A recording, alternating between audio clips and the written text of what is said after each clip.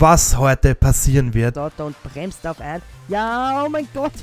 Esteban Ocon, ja, ich kann da nur zusehen, denn die sind verdammt schnell. Und reicht das und es ist fast eine unsafe Release. Wir fallen in dem McLaren drinnen. Das war wir kommen hier mit einem Überschuss angeschossen und gehen hier in dieser Kurve. Er bleibt innen. Wir können außen hier an Hogger vorbeigehen. Was für ein Masterpiece. Wir verlieren aber nochmal fast zwei Sekunden auf Ocon.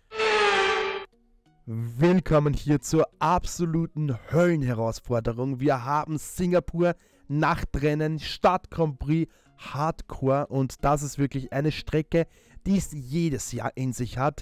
Ähm, der, der Maria Bay Street Circuit ist eine unfassbare Hölle. Abonniert gern kostenlos den Channel und wir gucken mal hier auf diese 5,0 Kilometer lange Strecke, 19 Kurven und drei DRS-Zonen. Seitdem es umgebaut worden ist, muss ich zugeben, ist die Strecke viel fahrbarer geworden. Markenzeichen natürlich hier dieses dreigebäudige Schiff.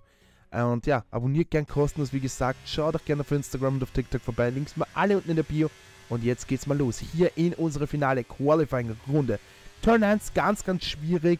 Und hier dann raus aus der ersten Kurve. Hier gab es doch schon den ein oder anderen Skandal. Ich denke an 2008 zurück. An äh, Bruno Senna, der hier mit Absicht gecrashed ist an einer Stelle, wo man Safety Car benötigt hat. Das war alles ein perfider Plan von dem damaligen Renault-Teamchef ähm, Flavio Briatore. Der wurde dann auch auf Lebenszeit gesperrt. Was Lebenszeit bedeutet, ist jetzt eher fraglich, denn mittlerweile läuft er auch wieder im Formel 1 Grid herum.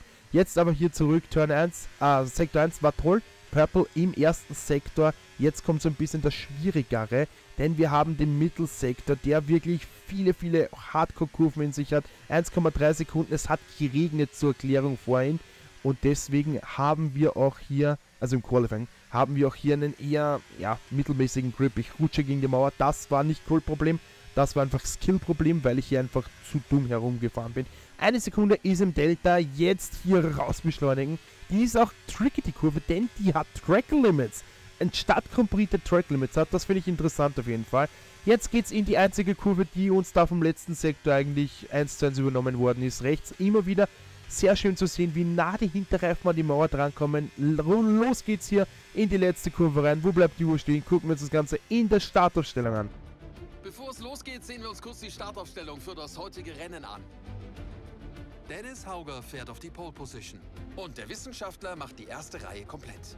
Im Rest der Startaufstellung haben wir Ocon, Verstappen, Tsunoda, Sainz, Russell, Oscar Piastri, Duhan, Daruvala, Norris, Gasly, Stroll, Liam Lawson, Theo Pourchaire, Sargent, Magnussen, De Vries, Joe Albon, Leclerc und Felipe Drogovic. Gleich werden die fünf roten Lichter erlöschen und wir sind gespannt, wer heute triumphieren wird.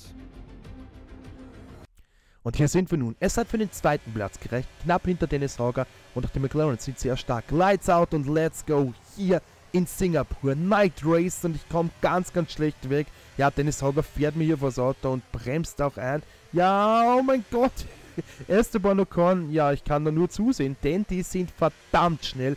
Der ist da vorbeigeschossen, Hauger deckt mich ab und ja, Ocon übernimmt einfach mal so easy going die Führung. Die Red Bulls auch wieder sehr stark. Es hat teilweise so ausgesehen, als ob da wirklich die Mercedes wieder da wären. Aber in Singapur ist dann doch eher McLaren, aber vor allem auch hier ungewöhnlicherweise Red Bull dabei. Okay, okay, okay. Das hätte ich gar nicht gedacht. Jetzt aber mal hier zurück. Leichter Querstier. Wir fahren mit Traktionskontrolle mittel, selbst schalten, selbst bremsen. Das macht das Ganze natürlich jetzt nicht wesentlich einfacher auf einer Strecke, die meiner Meinung nach mit Monaco einer der härtesten überhaupt ist. Hauger hier mit einer interessanten Linie. Dann geht es über die Brücke drüber. Die ist auch verdammt eng. Rechts hast du eine, äh, gleich eine zweite, also das ist eine Hin- und Rückbrücke. Ähm, die zweite ist aber eher jetzt nur im Rennen für irgendwelche Stewards, äh, Marshals, die da drüber gehen dürfen. Ja, es schaut mir so, als ob ich Probleme hätte, hier die Pace zu gehen. Also Ocon ist da wirklich aktuell mal fehlerlos. Der zieht da vorne mal an einer, ähm, ja, zieht da vorne mal so eine unfassbare Pace ab. Ich muss mich hier mal an Horger dran arbeiten.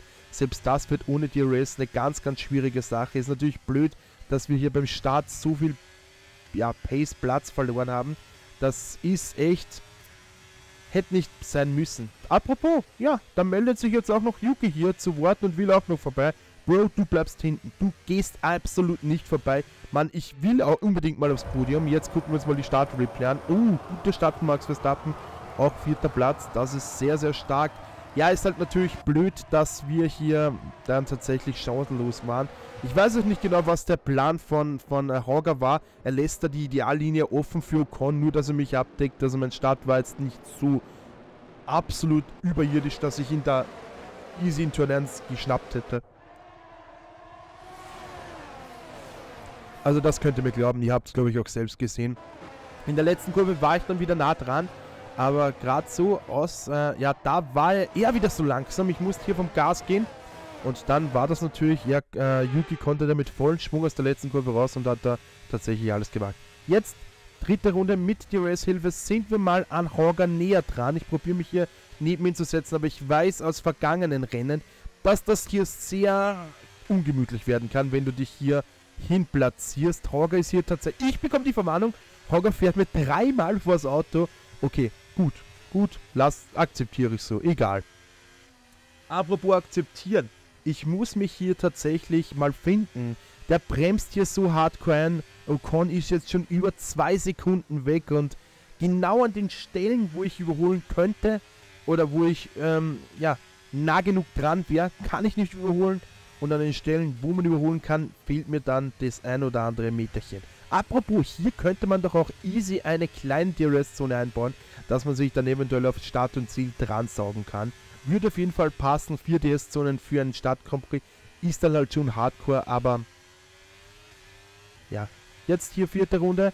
Es hat sich nicht viel getan, außer dass Ocon nochmal zwei Zehntel gefunden hat. Aber vielleicht wage ich hier noch einmal den Versuch. Bei vier, fast fünf Zehntel Rückstand ist das allerdings nahezu unmöglich, auf dieser Geraden sich da irgendwas ähm, ja, da zu erarbeiten. Also das ist wirklich Ah, es ist heute ein bisschen mühsamer. Äh, so ein Rennen ist halt eine ganz, ganz. Gerade so ein Stadt Grand Prix, der ist halt wirklich mit. Na, wie, wie heißt das Wort, was ich suche? Mit Geduld äh, zu ertragen, denn du musst halt wirklich aufpassen, aufpassen, aufpassen und dann im richtigen Moment eventuell einen strategischen Move ziehen oder. Oder hier einfach mal was, ähm, was wagen. Das wäre. Ja, jetzt irgendwann mal echt an der Zeit. Auch Yuki, der hält da wirklich hm, sehr bärenstark mit. Auch dahinter Max und auch der Ferrari dahinter. Das ist alles eng zusammen. Wir sind sieben Zehntel von Yuki weg. Der wiederum ist nur ein paar Zehntel von Verstappen weg. Und ich ja, hänge hier hinter Horger fest. Das Gute ist, es kristallisiert sich jetzt so ein bisschen raus, dass Ocon jetzt doch nicht so eine überaus eine überirdische Pace hat, was mich natürlich so ein bisschen äh, hoffen lässt, dass ich das schaffe. Jo, wir sind immer noch hinter Dennis Hauger und fünfte Runde. Es ist halt wirklich sehr gut. Das war close. Das war sehr close.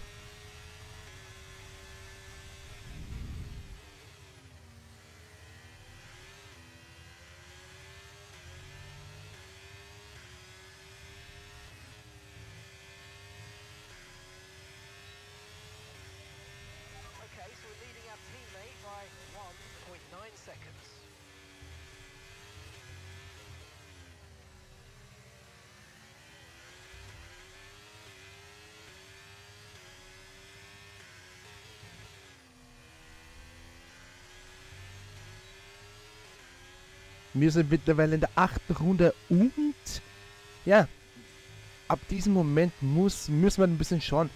Denn wenn vielleicht irgendwie ein Undercut, aber auf einer Strecke wie Singapur, glaube ich, wird sogar ein Overcut funktionieren. Also da bin ich noch ein bisschen hm, zwiegespalten. Ich muss jetzt endlich mal Dennis Hauger vorbei. Also bitte jetzt komm. Wir sind so nah dran wie schon lange nicht mehr. Zwei Zehntel nur noch. Auch 2,2 Sekunden. Ocon kommt jetzt auch nicht weit von uns weg. Auch Yuki, der bleibt ganz, ganz eisern da dran. Aber Horger wieder, der ist wie ein Schweizer Uhrwerk. Der Bre, der deckt ab. Es ist so unmöglich an dieser Strecke. wenn du jetzt nicht, wenn der Vordermann nicht einen Fehler reinhaut, dass man hier irgendwas macht. Es ist wirklich sehr, sehr zum Verzweifeln. Neun Runden fahre ich mittlerweile hinter Dennis Hager her und ich habe den noch keinen einzigen Fehler machen sehen. Vielleicht einen Rutscher oder so. Aber das ist wirklich Masterpiece, was der da heute zeigt. Das ist wirklich Masterpiece. Und ich kann da kaum irgendwie dagegen. Ich meine, ja, ich bleibe immer in diesem halben Sekundenfenster, aber das, das, dass ich mir dann so, oh, easy, den hole ich mir jetzt auf der Geraden. Nein. Also, ich weiß ganz genau, nein. Hier DRS wäre natürlich top, denn ich sauge mich durch die eine DRS-Zone dran und könnte ihn hier Richtung dieser Kurve ähm, pushen. Natürlich müsste man die Kurve ein bisschen ausbauen, denn wenn du damit ein bisschen mehr Speed reinkommst, musst du da hinten auch mehr Barrieren haben, eventuell irgendwas mit Kies oder so. Und ja, auch Esteban Ocon fährt weiter. Wir gehen mittlerweile in die zehnte Runde rein. Jetzt sind wir schon in der zehnten Runde drin. Ich bin immer noch die halbe Sekunde weg, aber Ocon hat Pace ein bisschen angezogen, was darauf deutet, dass er jetzt in die Box abbiegen wird. So ist es auch. Esteban Ocon geht also in die Box. Wir übernehmen den zweiten Platz und müssen uns ja, wäre jetzt natürlich top, wenn ich Dennis Horger irgendwie jetzt oder so rund um die Out- oder In-Lab wieder überholen oder mal überholen könnte. Dann könnte ich mich da eventuell an Ocon dran arbeiten. Wäre auch cool, wenn der ein bisschen im Verkehr stecken bleibt. Schaut mir aber nicht so aus. Der steht, by the way, immer noch in der Box. Der kommt weit hinten raus. Das ist wirklich nicht gerade das, was ich mir gedacht habe. Jetzt Dennis Horger ganz, ganz spät bremsen und so ist es auch, Leute. Ganz, ganz, ganz, ganz spät an der Bremse. Ich habe hier nochmal ein paar Zehntel gefunden Jetzt, nein, Teamkollege in der Box. Ich habe es dreimal angekündigt und diese Idioten schicken uns gleichzeitig in die Box. Wie blöd kann man denn sein? Audi, ja. Also wirklich, das ist nicht mehr von dieser Welt. Jetzt der Boxenstopp soll gelingen und reicht es uns. Es ist fast eine Unsafe Release. Wir fahren in dem McLaren drinnen. Das war ja quasi eine Unsafe Release, oder? Also da, da gibt es keine zwei Meinungen. Das war sehr, sehr, sehr, sehr umstritten. Dieses knappe, diese knappe Sache. Wann dann wäre aber ich bestraft worden, da bin ich mir auch fast sicher. Jetzt hier Dennis Sorger, ganz, ganz knapp dran. Ich probiere hier reinzugehen, muss innen über den Körb drüber. Ich drehe das DRS auch auf. Setz mich noch einmal hinter Hauger, aber jetzt schaut sehr gut aus für uns. Unter zwei Zehntel. Wir kommen hier mit einem Überschuss angeschossen und gehen hier in dieser Kurve. Er bleibt innen. Wir können außen hier an Hogger vorbeigehen. Was für ein Masterpiece. Wir verlieren aber nochmal fast zwei Sekunden auf Ocon und das könnte heute tatsächlich bedeuten, dass die zweite Platz Endstation ist. Also, dass wir weiter als auf den zweiten Platz kommen, das scheint mir fast unmöglich zu sein. Da müsste ich schon den God Mode entern, um da was reißen zu können. Doppelführung für Red Bull, aber natürlich mit dem äh, mit dem Blow Twist, dass Russell noch nicht in der Box war. Also Ocon wird auf jeden Fall die Führung wieder übernehmen werden. Wir bleiben auch Zweiter, auch UK und so weiter, die werden alle da bleiben und jetzt gucken wir uns dieses Überholmanöver noch an, auf das ich wirklich so lange gewartet habe. Das ist jetzt mal Runde 3 und da war ich ja schon einmal näher dran, traute mich aber nicht so richtig. Vierte Runde, es ist immer der Audi hinter dem McLaren, der, der McLaren vor dem Audi. Es ist wirklich eine ganz, ganz zache Nummer gewesen, also wirklich ganz, ganz zart. Und jetzt hier dann neunte Runde war ich auch nicht an ihm vorbei. Nein, das war immer noch mit dem roten Reifen. Wir waren ja erst in der 11. Runde in der Box. Also können. Also ja, auch hier ganz, ganz nah. Aber mir fehlt auch auf, Yuki war auch immer nah dran. Also wenn ein Fehler, ein größerer Fehler von mir drin gewesen wäre, hätte glaube ich auch Yuki da ganz große Karten oder ganz, ganz eine ganz große Chance gehabt, ihn hier, äh, uns hier irgendwie anzugreifen. Zehnte Runde und das war dann auch die Runde, wo Con in die Box ging. Mittlerweile waren wir ja alle schon drin und jetzt hier die elfte Runde. Wir waren in unserer letzten Runde und da war ich verdammt nah an der Mauer dran. Also das ist wirklich... Zwölfte Runde und da mit dem gelben Satz. Wir gehen hier innen mal an ihn dran. Ich war auch hier eigentlich nebeneinander, habe aber zurückgesteckt, weil ich genau wusste, dass die Rest wird uns, wird uns hier weiterhelfen. Und dann saugen wir uns hier dran. Es war so genial. Hier dann außen über den Körb drüber. Und da war es.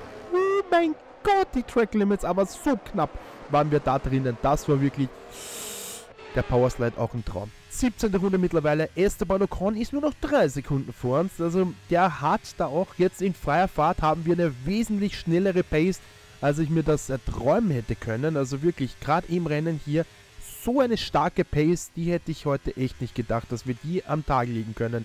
17. fünf Runden sind es noch zu gehen und es könnte, ja, so ausgehen von mir aus. Also es war wirklich ein Top-Rennen, hat mir persönlich unheimlich viel Spaß gebracht und gemacht. Ja, mein Teamkollege leider wieder nur auf dem sechsten oder siebten Platz. Ich kenne die Farben nicht ganz auseinander. Ich glaube aber eher siebter Platz. Ist natürlich jetzt eher nicht so gut, nicht so gut. Aber ja, das kann man jetzt auch nicht stark ändern. Egal. Also wirklich, das ist heute ein Rennen, das nicht besser laufen hätte können. Natürlich wäre ich beim Starten ein bisschen besser vom Fleck weggekommen. Hätte ich da natürlich die ein oder andere Chance gehabt, aber hätte wäre wenn. Also bis jetzt läuft wirklich alles im Schnürchen.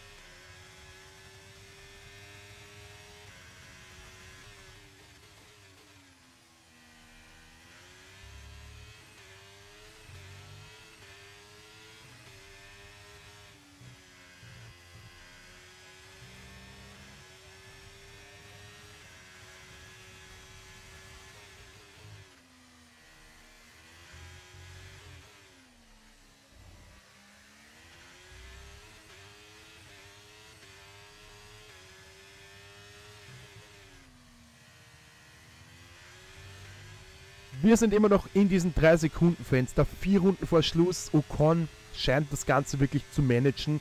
Ähm, keine größeren Probleme bei ihm, bei mir auch nicht. 2,2, 2,1, irgend sowas sind wir immer um die 2 Sekunden im Fenster zu Horga. Äh, ich hoffe natürlich, dass der vielleicht auch mit Yuki irgendwie ins, in den Fight kommt.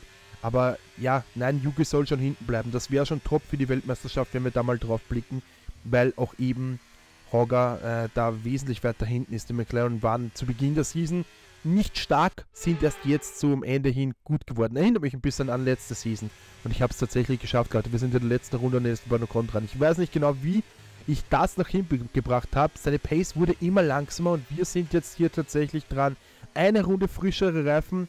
Das sollte eigentlich so toll funktionieren, dass das eigentlich nichts geht. Wir haben die Aufholjagd bestanden, sind jetzt hier im Sekunden, im Zehntelfenster, also sogar fast unter einer Zehntel, gehen hier neben Ocon dran, ja, das schickt uns hier ein bisschen weit, hätte auch zurückstecken können, natürlich, aber das könnte noch einmal wirklich eine ganz, ganz enge Nummer werden. Die Reifen sind, ja, fast auf Fetzen hin, also wirklich durch dieses Pushen, Pushen, Pushen, Pushen und auch das ein oder andere Überhummeln über müssten, mussten wir da tatsächlich ordentlich Reifen verbrennen. Aber das könnte. Nein, das klappt nicht mehr, Leute. Ich habe es wirklich geschafft, auch noch diesen dreieinhalb Sekunden Polster von Ocon ihn abzuraspeln und wegzunehmen. Aber nein, der Mann gewinnt das Rennen sowas wie von souverän. Hat zwar, glaube ich, die letzten 6, 7 Runden dann wirklich am Pace zurückgenommen, aber selbst das hat gereicht. Esteban Ocon gewinnt verdient den Grand Prix, aber wir holen hier mit so einer tollen Aufholjagd auf an einer Strecke, wo es eigentlich gilt, dass es kaum möglich ist zu überholen muss ich persönlich sagen, war das einer meiner größten Glanzleistungen. Also macht, hat wirklich Spaß gemacht, hat mir wirklich richtig, richtig, richtig gebockt. Es war ein großartiges Rennen und eine erstklassige fahrerische Leistung, die Red Bull heute den Sieg gebracht hat. Stefan, sag mal, was denkst du, hat den heutigen Sieg möglich gemacht? Der Zustand der Reifen hat bei diesem Ergebnis eine zentrale Rolle gespielt. Wie immer geht es nicht nur darum, schnell zu sein, man muss diese Geschwindigkeit auch während eines Stints und über die ganze Renndistanz halten können. Man muss also schnelle Rundenzeiten fahren, sachte steuern die Reifen schonen.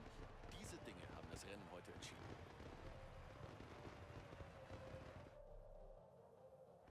Während wir uns unterhalten, sind die Fahrer auf dem Weg zum Podest. Was für ein fantastischer Sieg für das Team von Red Bull. Sie haben heute eine außergewöhnliche Leistung gezeigt und ein wahnsinnig spannendes Rennen abgeliefert. Glückwunsch an das ganze Team.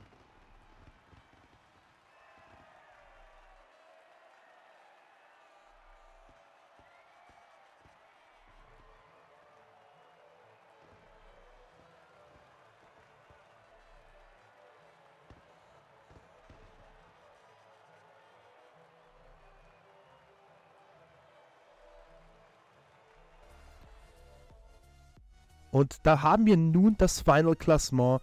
Erster Platz geht an Esteban. Wir werden Zweiter und Max Verstappen nur Sechster. Das war eher ein semi-gutes Wochenende. Holen aber in der Konstrukteurs-WM 27 Punkte miteinander. Auch zwei Punkte theoretisch mehr als der McLaren, äh, als der Red Bull und auch als McLaren sind doch in der Konstrukteurs- und Fahrer-WM immer noch weit, weit vorne. Also das schaut wirklich alles top aus. Da dürfte auch jetzt nichts mehr großartig schief gehen. Im nächsten Rennen müssen wir dann das erste Mal, glaube ich, oder im übernächsten sollten wir dann wirklich das erste Mal die Grid-Strafen uns nehmen, denn in Japan bin ich eh nicht so gut. Da werden wir vermutlich dann mit Grid-Strafen ins Rennen reingehen und werden dann endlich mal probieren, oder werden dann mal probieren, ja, irgendwelche Strafen ähm, von weiter hinten zu starten, uns äh, so ein bisschen den Vorteil für die letzten paar Rennen uns zu holen. Der Sponsor ist abgesprungen, das ist nicht gut. Äh, dann nehmen wir uns aber auch einen, der viel Payout in der Woche hat, aber es bringt uns Geld, bringt nichts mehr. Es ist die letzte Season, Leute, und das ist auch so ein bisschen Wehmut, oder? Abonniert gern kostenlos den Channel, auch die Formel 1 geht am nächsten Wochenende los. Ich freue mich extrem drauf, beziehungsweise am Samstag wird ja schon das Rennen sein. Aber für heute soll es das dann mal gewesen sein. Danke für euren Support. Vielen Dank, dass ihr dabei wart und zugeguckt habt. Für heute war es mal. Bis zum nächsten Mal, später oder auf TikTok und ciao.